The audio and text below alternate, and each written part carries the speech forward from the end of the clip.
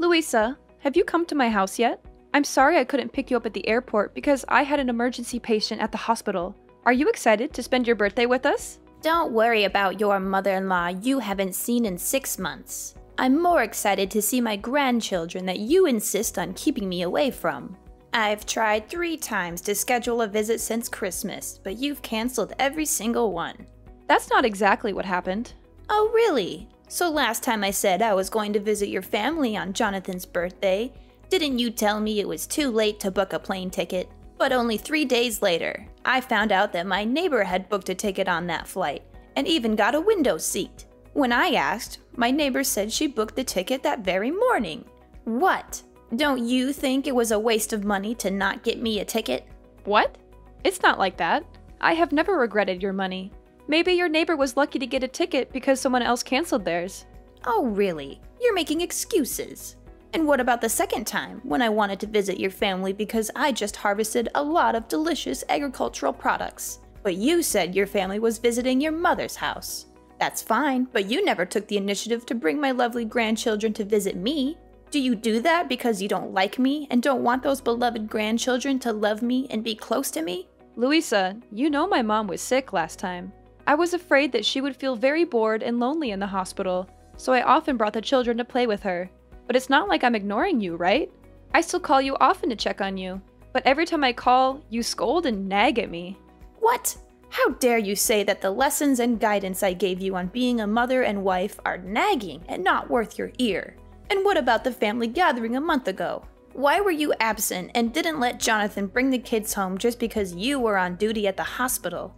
Is your job that important? I mean, you're just a part time nurse, and the hospital could find someone else to take your place. Oh, coincidentally, it was the kids' final exams. So I can't just make them skip school to go to a party. What? Just a party? Do you know it's a once a year opportunity for me to brag about my successful son? You are really good at arguing. If it weren't for my birthday, you wouldn't even notice this old woman until death, right? No, I can't argue with you. I'm just trying to explain to you that I don't hate you. Come on, you're here anyway. Let's forget about the past and happily look forward to the family trip to Hawaii. you evade again, as always. And why is the house cluttered and filled with things that are toxic to the kids like this? Huh? I kept my house clean because I know how fastidious you are. The kids are at home playing. Oh, I see. You're letting my Maxie's brain rot by playing video games again and Penelope is watching movies that are not appropriate for her age. What happened to the books I bought them for Christmas? They've read them all already. Louisa, are you misunderstanding something? Penelope only watches cartoons, and I have set a limit to only show children's movies under 7 years old for Penelope. And Maxie only plays video games for 30 minutes a day, and then goes out to play some sports. Since it's spring break right now, I also want to let the kids have fun. Oh, really? I guess you don't want my gifts to be near your children. So where did you throw them all away? Oh no, Louisa, I certainly wouldn't do that. Why do you always think that I hate you and want to separate you from my family? Can we not talk about it and try to get along? Anyway, you're going to Hawaii with my family for a week, and you don't want to fight every day, right? So, how was your flight? Long. Horrible. And I was stuck in the middle seat, which I assume you planned. No, I was on the phone with the airline for over an hour trying to get you an aisle or a window seat, but they were sold out. Before you assume, you should really try asking. Oh, look what I found in this kitchen. A pile of vegetables chopped by the children? Oh, that's the ingredients I prepared for the vegetable stew.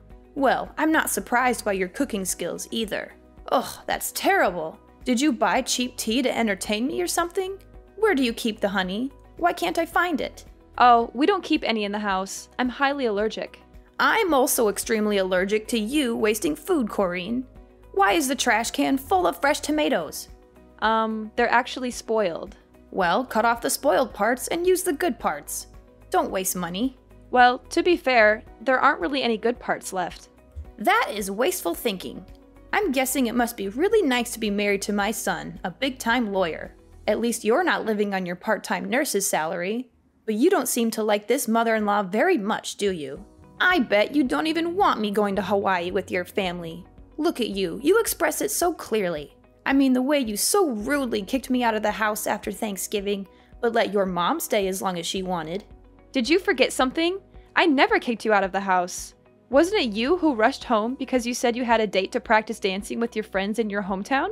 I even helped you carry your stuff to the taxi, and then you were mad at me for weeks for not letting you stay. Moreover, my mother only stayed for one more day because both Jonathan and I had to go to work the next day. So I asked her to stay at home and take care of the children. And I'm happy that you can join us in Hawaii. Really. Ridiculous. Do you think I will believe your nonsense words? I won't let you leave me at home and have fun. You better not think I'll be nice to you just because of this trip.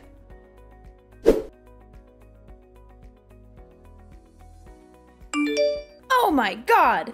What's going on? Corrine, you're a manipulative and conniving person. Even if you don't want me to travel with your family, you can't destroy my stuff like that. Do you know how much money I spent on all those clothes to prepare for the trip? Huh? Louisa? What's wrong with your clothes? Yesterday I washed them like you asked, didn't I? This morning, before I left, everything was fine, right? Are you sure you followed the instructions I gave you? Did you hand wash everything one by one in different water temperatures? Oh no. I was so tired that I forgot about washing by hand, so I threw them all in the washing machine. But what's wrong? I took them out to dry this morning before going to work and found everything still intact, right? Until now, you still dare to ask me? I just asked you to do such a trivial thing, but you can't do it? Do you see that all of my beautiful clothes are crumpled and paler than before they were washed? You are so selfish. Just because you don't want to go on a trip with me, you mercilessly ruined my clothes. And now I have to cancel the trip and go home, right? It's not like that. Just that yesterday you told me to do your laundry too late. And I had to be on duty at the hospital for 18 hours in a row without a break before taking time off to travel, so I was very tired. At that time, I couldn't remember anything, so I went straight to the washing machine. If you don't want to wear those old clothes again, I can take you to buy you new ones. I've wanted to take you shopping many times, but every time you criticize me for wasting your son's money, so I. Of course, you'll have to buy me lots of new clothes. It's your fault anyway. But remember, you have to buy them with your own money. Of course, Louisa. After work, I will pick you up to buy new clothes.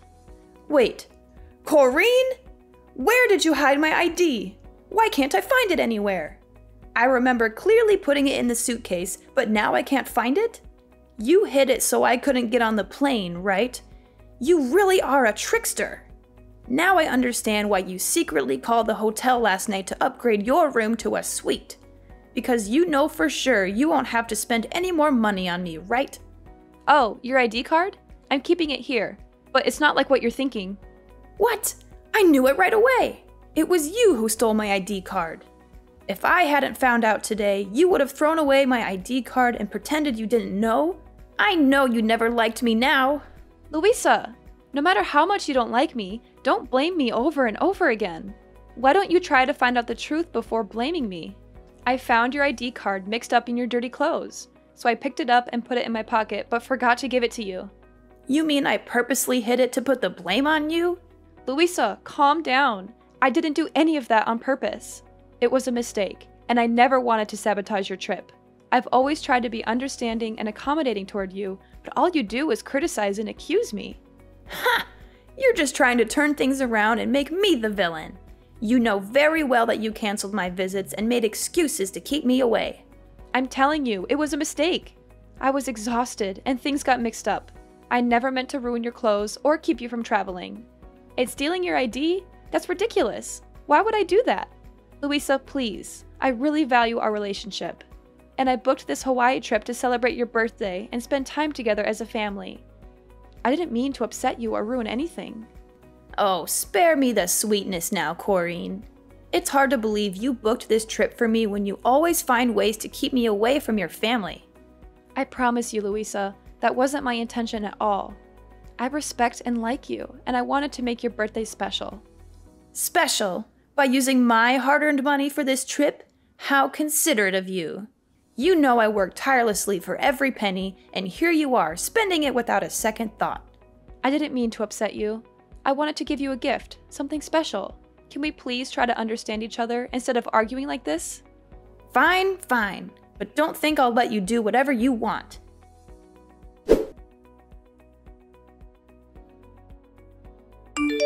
I'm going to pick up a honey substitute at the store to cook the ham for dinner. I also need to get some necessary stuff for tomorrow's flight. Would you mind watching the kids so I can go? Huh?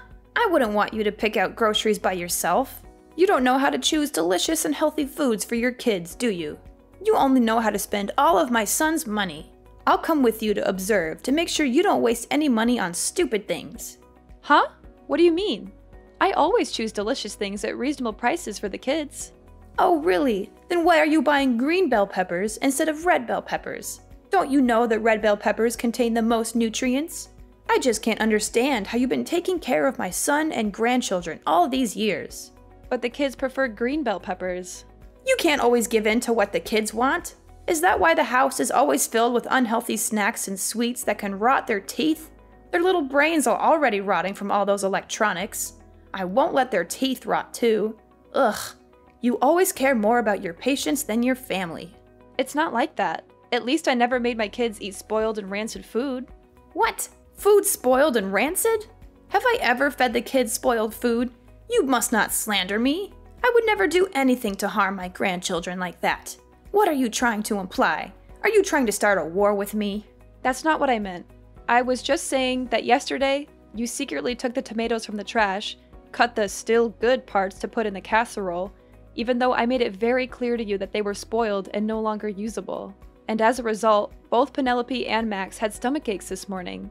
Thankfully, after I washed the dishes and took out the garbage, I saw that the rotten tomatoes had disappeared and understood the issue. So I gave the two children medicine to prevent stomach aches, so it wasn't too dangerous. But I think next time you shouldn't save so much money. How can you be sure the kids' stomach aches are because of those tomatoes and not because you let them eat too much junk food? You're just trying to blame me. I don't mean to blame you at all. I just want to bring it to your attention so you can be more careful next time. Huh, you're so good now, you even know how to teach your mother in law. If you already want to feed your kids fresh food, why choose to buy honey substitute instead of raw honey? Do you know how many chemicals are in honey substitute? Well, it's inevitable because I'm allergic to raw honey, so I have to use a substitute. Oh, don't overreact it, okay? It's just a normal allergy. At most, it's just a little itchy rash. Then it's okay to apply some medicine. No, Louisa, I'm really heavily allergic. Once, Jonathan and I went on a date, and even though we told the waiter not to give us real honey but to replace it with a substitute, he forgot. So I accidentally ate a piece. And after that, I felt like my throat was blocked, couldn't breathe, and was hospitalized for a week. So every time I go to buy honey, I have to double check to make sure I get the right kind of honey substitute because only one drop of raw honey can make me suffer. Otherwise, I'll have to stay at home without being able to join the family trip. Oh, is that so? That sounds dangerous. Then we should be careful. Haha! Hurry up! Come pick me up and let's get prepared for my birthday gift. Louisa, why are you suddenly so eager to go to the supermarket with me? You seem really excited about this trip to Hawaii. Oh, don't read too much into it. I just realized that this outing is an opportunity for us to spend some time together before the trip. I can't wait to relax with Jonathan and the two grandchildren in Hawaii. Hmm, it's just that you seemed so critical and upset earlier, and now you're all excited. It's like a complete turnaround. Well, people can change their moods, can't they?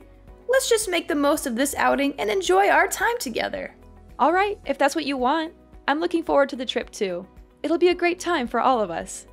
Oh, I'm so happy! So today, I've decided that I'll cook dinner tonight on my own, and you won't have to help me. Louisa, are you sure you want to cook all by yourself? I can help you prepare the meal if you need any assistance. No, no, my dear. Today, I want to do something special for you. I appreciate the birthday present and the effort you put into planning this trip. Let me show my gratitude by cooking a delicious and special meal for you. This will definitely be the most memorable dinner that you'll never forget. oh, that's so nice of you. I can't wait to taste your cooking. I'm sure it'll be amazing.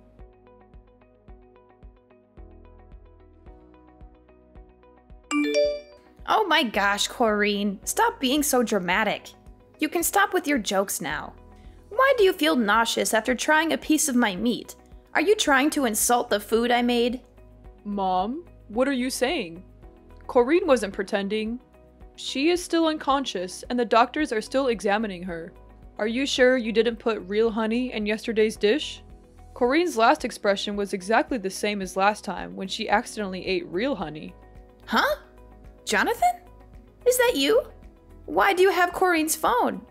Oh, that's not the problem. Is Corinne still in a coma? Isn't she just having a little trouble breathing? And why are you asking me if I put honey in the food? I didn't. I only used ingredients that Corinne bought at the supermarket. You should be asking her. Oh no! What's happening to Corinne? She's shaking nonstop and can't breathe. The doctor said she didn't react to the injection. Oh no, she's going into anaphylactic shock. This is really dangerous. Oh no! What? I.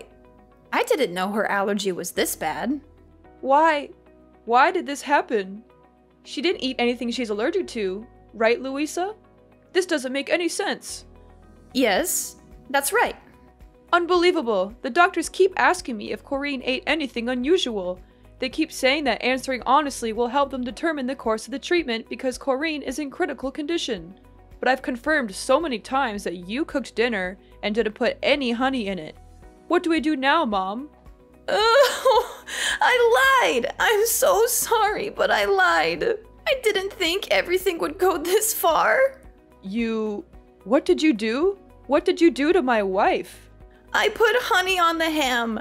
I am so, so sorry. I didn't mean for it to go this far. I just thought she didn't want me to go on the trip, and I thought I'd make sure she couldn't go. I never meant for this to happen. Oh my god, Corinne, I'm so sorry. Please, stay with us. Oh my god, how could you do this? I can't believe you actually did this to me. Huh? What? What's going on? Who are you? Are you Jonathan or Corinne? It's me, Corinne. I really hoped it was just a misunderstanding and that I was thinking too much. But in the end, you are still heartless toward me. Oh my god, Corinne! Are you awake? Oh my god, you're so lucky you're fine. I thought you were. Going to die? Is that what you wanted? No! Absolutely not. Oh god. I'm. I'm just so confused. Why did Jonathan just tell me you were in critical condition and now you're texting me like this? Don't you understand? Then let me explain it to you. Yesterday, when we were at the supermarket, I couldn't help but notice you were buying something on your own. I thought it was strange, but I didn't dig into it too much. When we got home, you insisted on doing all the cooking. I know you like to take over the kitchen, but this time you didn't want me around at all. I know you said you wanted to cook me something special, but I still felt weird. That's when I found your receipt for raw honey in the trash. It all became clear to me what your plan was. Does that mean you found out about my plan from the beginning? So why didn't you say anything and still ate that piece of meat? Because I wanted to know if you were so heartless and hateful towards me that you would really harm me. So before dinner, I decided to talk to Jonathan about your plan, and also let him know that I was going to fake my allergy symptoms and wanted him to work with me to get me to the hospital. To keep the kids from worrying, I even told them that this was just a joke to surprise their grandma and told them not to tell you anything. I hoped you wouldn't actually go through with it, and I even gave you a chance to tell the truth. Before I cut that piece of meat, I even asked if you were using the right honey substitute, and you assured me you did. Wait, that means you actually ate that piece of meat, right? If so, why are you still so healthy? Is it a lie that you said you're allergic to honey? Actually, I didn't eat it.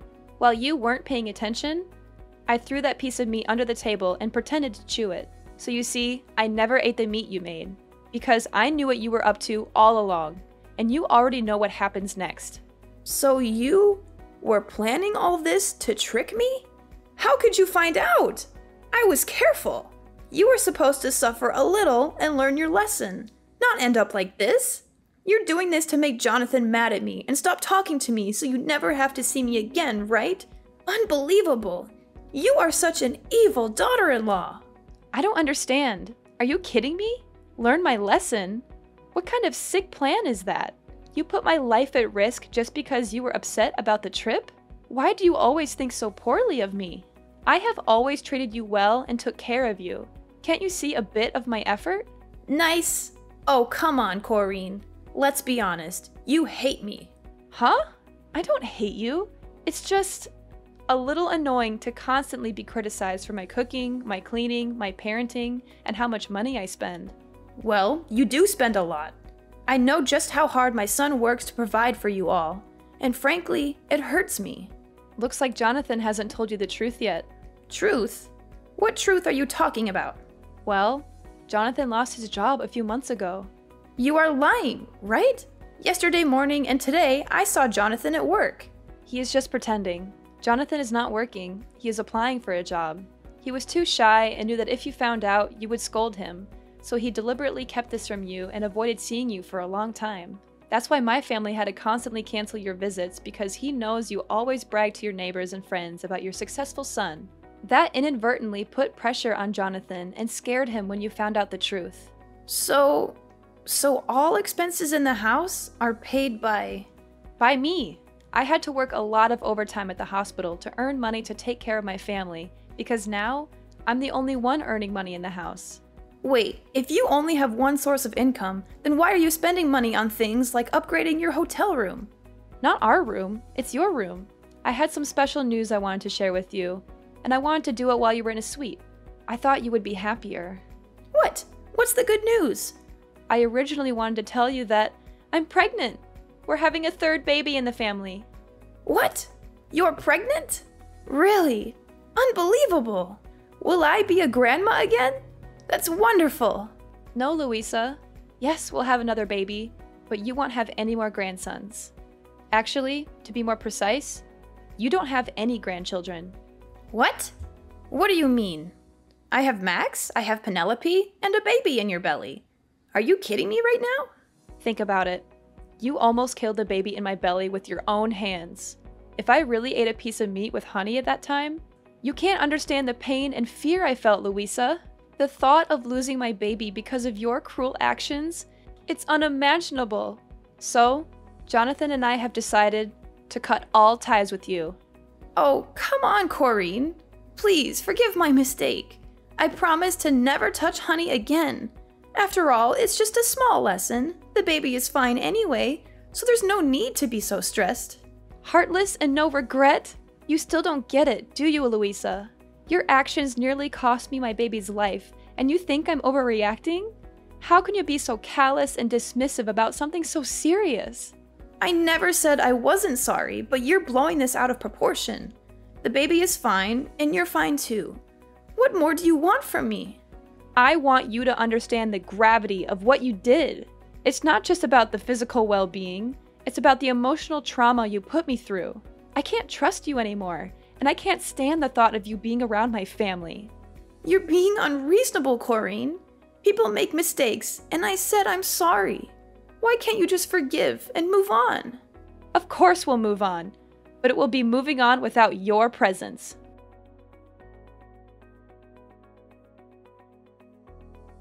In the days that followed, she continued to stay in our house and begged us to forgive her, even though we asked her to leave many times. Jonathan was furious with her and made a bold decision.